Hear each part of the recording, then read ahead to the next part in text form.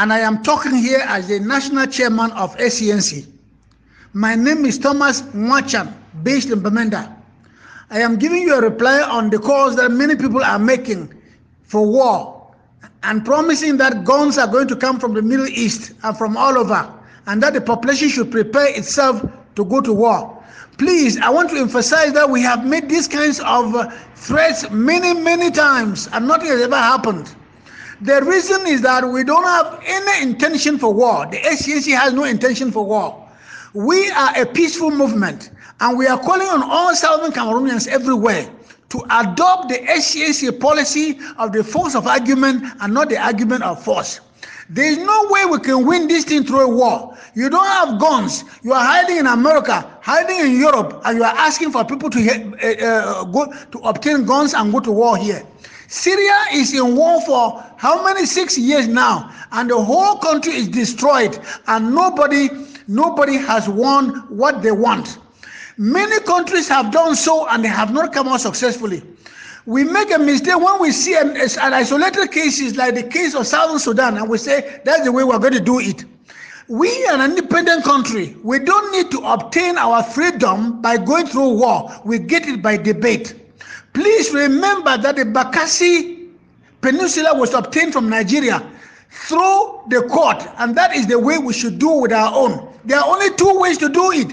Either we go to court and obtain a UN a, a, UN court decision in favor of our separation from La République du Cameroon, or we look for countries that will table our matter before the United Nations General Assembly to obtain a vote that will authorize the United Nations to come back into uh, into into the country, into this country, and separate the Southern Cameroon from La République. The talk of war is completely rubbish. Whether it comes from Ambazonia or from SCYL, if they are really interested in war, let them come first. They escaped and went abroad because they didn't want violence. Why are they talking about violence now? Some of them were simply threatened, simply threatened with arrest and detentions for a couple of years or a couple of months, and they went abroad forever. We don't want to hear about war. We want to hear about people acting intelligently to free the country.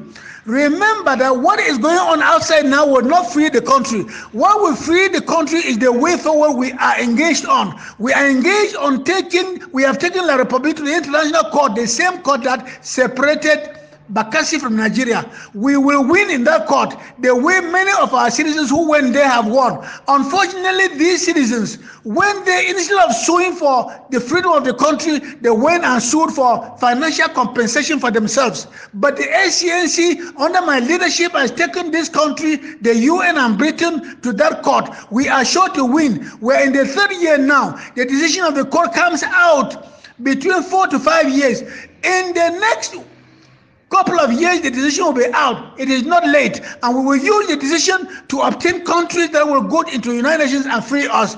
This is the way out. It is not by shouting war. What the people are doing outside we support it. We support the teachers. We support the the lawyers. We support the trade unions all of them. But we ask them to do it peacefully to do it without any recourse to war or violence so that we can obtain our country as it is, not broken into pieces.